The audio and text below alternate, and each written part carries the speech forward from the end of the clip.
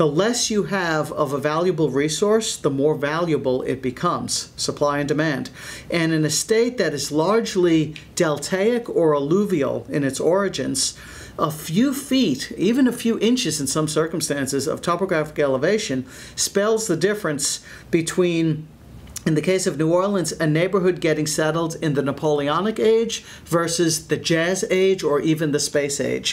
So what we're going to do on our field trip is leave from New Orleans here and come um, out of the Mississippi River Deltaic Plain and head uh, into the uh, Pleistocene terraces upon which Baton Rouge is located, and then make our way up to the Loess Bluffs of uh, West Feliciana Parish.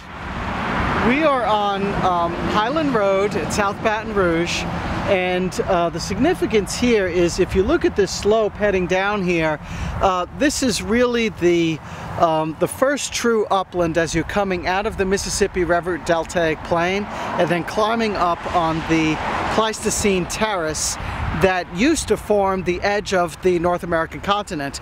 Before the uh, ice sheets melted and all this water and sediment came down the Mississippi to form the Deltaic Plain, if you were here 10,000, 50,000 years ago, the Gulf of Mexico would have been not too far off in the distance there.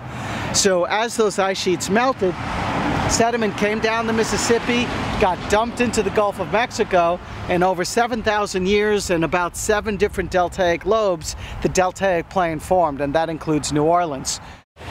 Baton Rouge and New Orleans are separated only by 80 miles, but geographically they're quite distinct in their underlying physical geography and topography. And one of the premier ones is that in Baton Rouge you could stand on the natural terrain and look down on the Mississippi River. You cannot do that in New Orleans. You look up to the Mississippi River, blocked by the levee.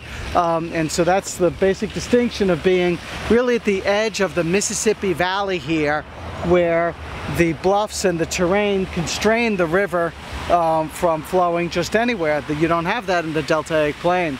Um, so there is a levee here, but that topographical difference is fundamental. And so for this reason, the Spanish used to have a battery here, an artillery battery, and then in the 1850s, the old state capitol museum was built uh, on this perch.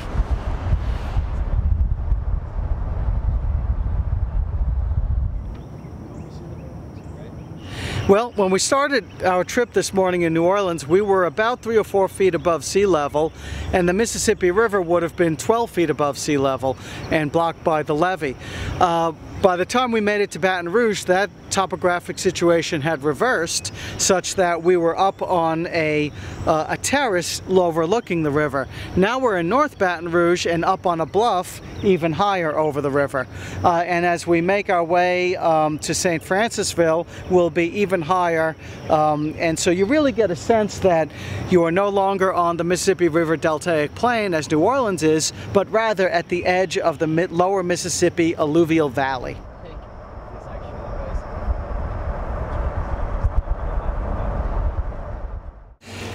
We're in St. Francisville, Louisiana, right at the edge of the Mississippi Valley here.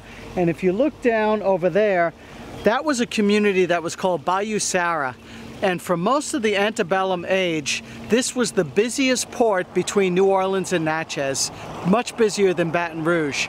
Uh, that Bayou Sara was later washed away by the 1927 flood, but what survived was the part of the town that was on the hill.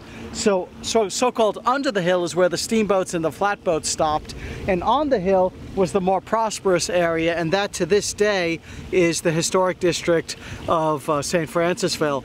So this is called Mount Carmel. There's a beautiful historic Catholic church here called Our Lady of Mount Carmel Church. During the very high water of the Mississippi River in 2011, a few years ago, the Mississippi crawled all the way up to the base of this hill and and we're we're at least a couple of miles from the bank today so it really gives you a sense of what is the meander belt of the Mississippi and its floodplain and where it ends where the bluffs begin here